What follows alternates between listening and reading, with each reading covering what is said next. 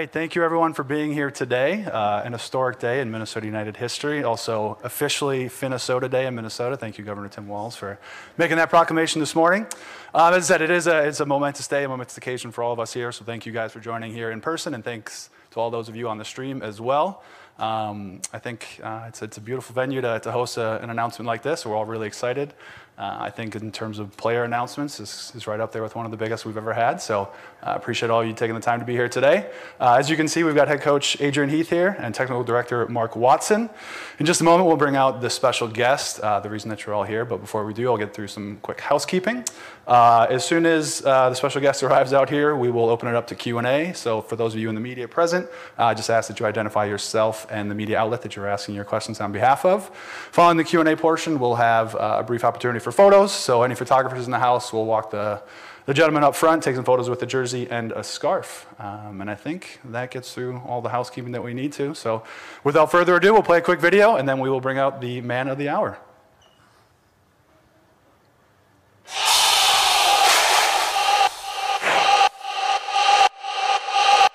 Hello, Minnesota.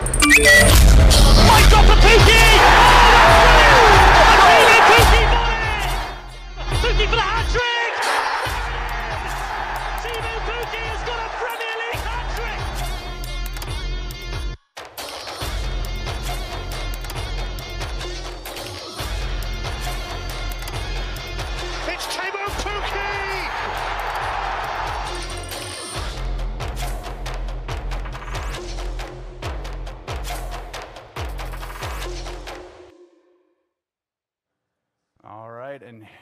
Bring out Mr. Teemu Pukki.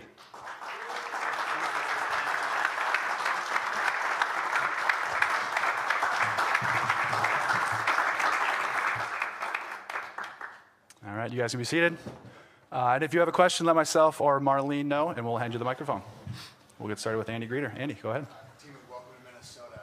Uh, obviously, as a uh, as a player on a free, you had opportunities to go a number of different places, stay in Norwich as well. What was appealing about Minnesota? Yeah, thank you. First of all, uh, uh, happy to be here, and uh, uh yeah, obviously been playing quite long, long in Europe, and uh, I had longer a feeling already that it would be like uh, nice to experience something else outside of Europe, and then obviously when Minnesota came came up, it's been actually quite I don't know, say a couple of years ago already when when first time Robin Robin told me about that uh, they, they could be interested in me and uh, but yeah, yeah, I was thinking thinking that I wanna wanna experience something else and when, when this chance came, obviously there was some negotiations with the agent and the and the club and uh, in the end this uh, this felt like the, the best opportunity for me uh, to to to come here in US.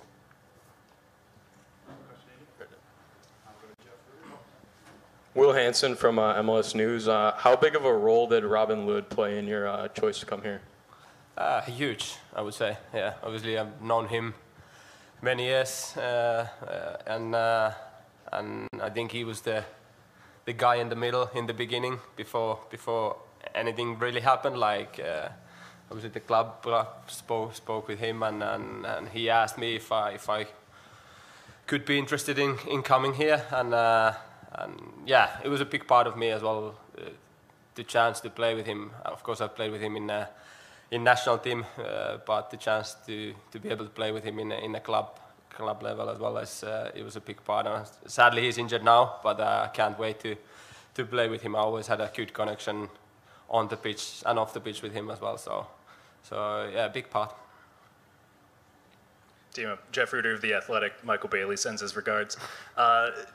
You've played for a couple of ex strikers as coaches when you're at Norwich. If you think of Daniel Farke and David Wagner, um, Adrian, of course, former strikers. So, what differences do you see when you have a coach who used to play the position? Does it bring anything different out of your game? Yeah, obviously they know how how we as strikers feel on the pitch and what we need to to achieve what we wanna wanna do and uh, to get out. I think they know what, what to do to get best best out of strikers. Of course, uh, yeah, had had some good good times with, uh, especially with Daniel Farke. It was uh, enjoyed enjoyed play, playing under him, and I've heard good things about Adrian as well. And uh, I'm looking forward uh, what we can we can do together here. No Connor from the Star Tribune. What was most appealing about the culture here with this organization that, um, you know, maybe not even in terms of stuff on the pitch, but in just terms of the people that, you know, really sold you on Minnesota United?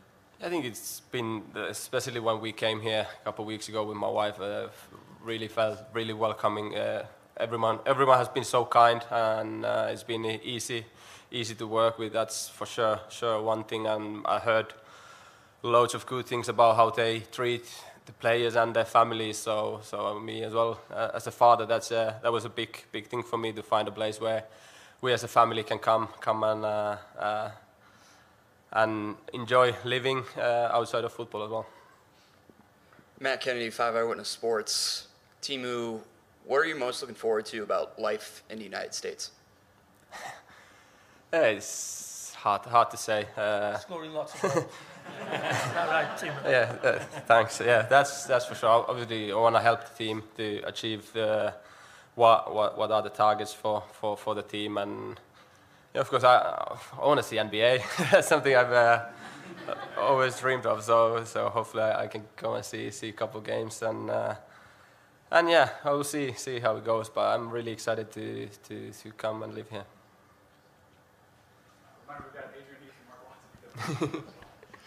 This is for Adrian. Adrian, obviously, with designated players at striker, it's been kind of a checkered history with the club and that's at that spot. What have you learned from those past experiences to inform and help with Teemu now? Well, I, I think Teemu briefly touched on it there. This is not something that's happened in the last few months. You know, when we realised that, and I mentioned this a few weeks ago, not since Christian Ramirez have, have we had a natural box player, I don't think. The rest have been a little bit different. It's been pretty evident this year with the amount of opportunities that we've created. We've been lacking somebody who could take a high percentage of them opportunities that we created. You know, we had a few games ago where we had 58 efforts at goal in three games. Don't want to put pressure on him, but I think he'd have scored a fair few of them opportunities. And that's what we've been lacking. Um, as you say, we haven't got it right. I believe that if we can continue to create the opportunities that we've done this season, then we've got the man, you've just seen some of the video here, at the highest level, who can uh, put a few of them opportunities away. Oldie saying in football, goals change games. That's why they go for the most money and get paid the most money. That um, if they take a good opportunities and they take them opportunities and create them, makes a big, big difference to the team building off of that, then, um, was there something important about bringing in a player who's an experienced goal scorer, scorer rather than, you know, recently there have been more developmental players, young players who there's some time for them to ease into it, but with Reynoso coming back as well, getting someone who can immediately come in and contribute? Yeah, I think one of the things that you know is that with goal scorers, that they have a pedigree. You know, the one and two is generally the gold standard. Teemu's is virtually one and two throughout his career, whatever level he's played at. So I don't see any reason that coming to MLS that doesn't change, especially in the team that we've got at the moment. You know, we've, as I say, we've created an awful lot of opportunities this year. I feel as though Bongi's getting better every week. Ray's come back now, which will be a big plus for Teemu. You know, Sangbin's coming out. I feel as though Mender and Sangbin have started to look as a little bit like what we thought they were going to be. It's taken a while, for, certainly for Mender, but we feel as though there's some progress there. But no, I just think that at this moment in time, this is exactly what this group of players need. We need somebody who can consistently be in the right spots. If we create them opportunities, then he will take them. Just a quick follow-up for Timo. Have you had a chance to talk to Emmanuel yet? And do you have a sense of how you two will be playing uh, towards the goal? Yeah, uh, obviously I've heard lots of good about him. Uh, uh Robin has been praising him a lot. And uh, yeah, I, I, actually I can speak some kind of Spanish, so I had a, had a chat with him today, and I'm really looking forward to play with him. And I uh, hope he, he, he, can create me uh, many chances so I can, I can score some goals. This could be for Adrian and or Mark. Um, when you're looking at Pukki, obviously you want to bring in a good player, like. But looking at the person, what stood out in that process of getting to know him, you know, before actually getting the deal done?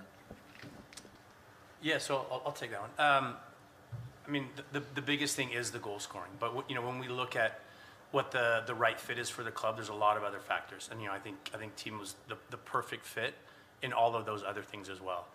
On the soccer side, I think he's, he's got a lot more to him than just goals. He's got um, good hold-up play. You know, he's, he can do a lot more. He can bring others into it. Obviously, his primary objective is to score goals, but he's a really good soccer player. So he can combine with Ray. He can com- combine with others on the field. Uh, his last couple games with Finland, he, he got a couple of assists as well. So he's certainly got more to his game than just goals. Um, but that's the main reason he's here is, is to score goals. I think we've, we've discussed that.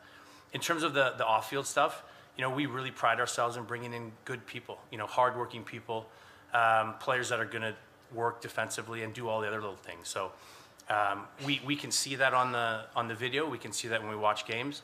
We also had a, a Zoom call with um, Adrian and myself. And, you know, you get to know someone. And we, we really pride ourselves in that in terms of getting to know the player. So he's the right fit when he gets here. And everything, everything was, you know, was, was perfect, really. I think he's, he's the perfect fit on the field, and he's a fantastic fit off the field. We also we spoke to an awful lot of people, not only about the football. We can see that. You've seen that over the last 10 years or so. But the people at Norwich City, one of the, the assistant technical director there is a really good friend of mine, somebody I played with. The fact that they wanted to keep him speaks volumes when they've had him for the previous five years. So, you know, that was a big plus for us. We spoke to the national team manager, Markku, couldn't speak highly enough of him, not only as a player, but more importantly, a guy that you get every single day, which is really important. Somebody who comes into the football club and actually brings something every single day. And, um, you know, as I said, that's been, it's been evident from the very first time that we spoke about him. Teemu, do you have a set amount of goals you want to score this season, or do you just want to come in and help the team succeed right away? Said 30 to there you go.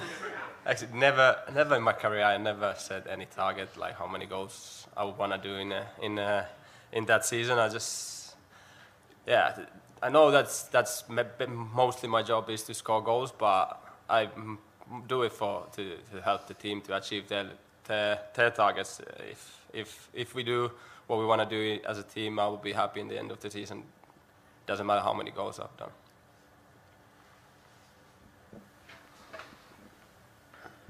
Teemu, on your goal scoring record, we saw it at a, at a level in the championship and at a level in the Premier League. And then last year, maybe it wasn't as what it was previously in the championship. What do you attribute that to?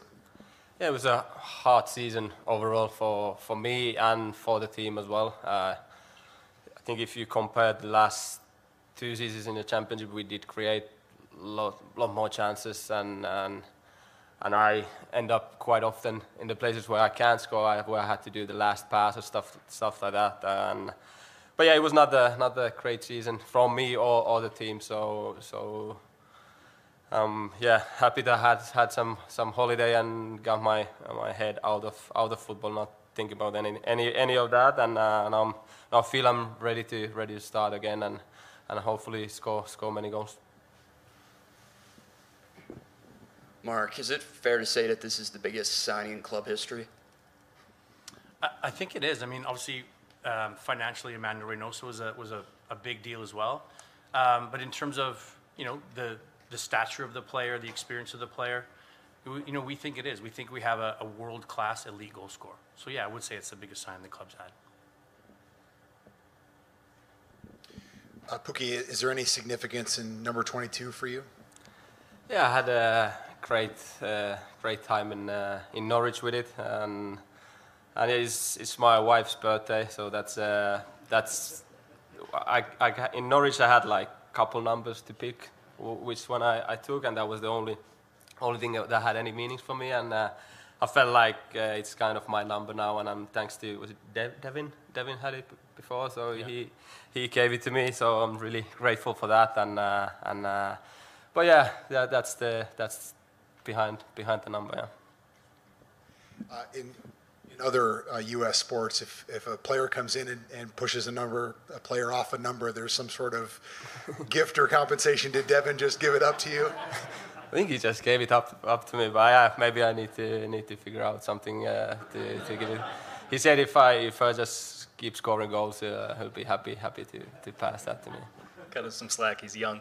Yeah. Uh, when you look at a club like Norwich, there's that community aspect to it. There's that feeling of camaraderie of fans having kind of an outsized impact on the team. Obviously, you see some fans are already here in attendance. They'll be cheering loudly tomorrow against Austin. Uh, how important it is it to you to be in that sort of an environment where it feels closer to a community maybe than just like a we're an entertainment event in town? Yeah, obviously, like in, in Norwich is as well similar. There's a uh, it feels like a kind of family club. It's the same feeling I've, I've got got from here, and uh, and yeah, it's important. I've heard many many good things about the atmosphere here here in games. I'm really looking forward to to, to experience that myself. And yeah, I think it's it's easier easier to play in that kind of environment, uh, especially for me.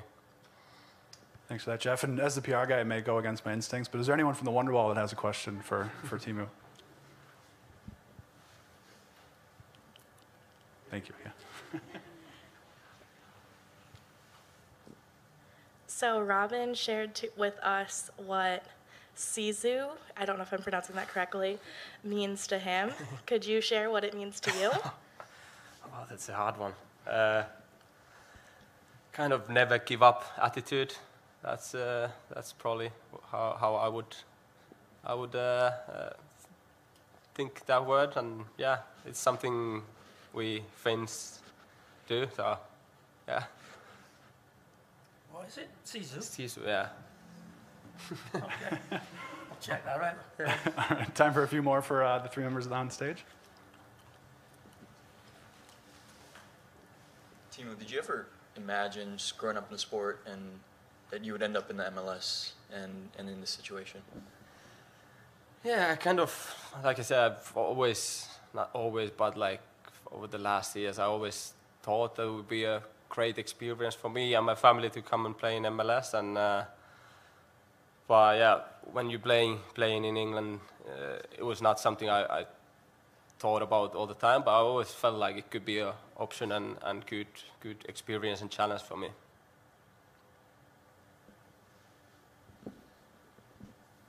There was a Timo. There was a video clip of, of you a couple years ago talking about Robin and wanting to get him over to England. uh, did that get any any traction? And when did it kind of flip that, that you would come here, or he was trying to recruit you here?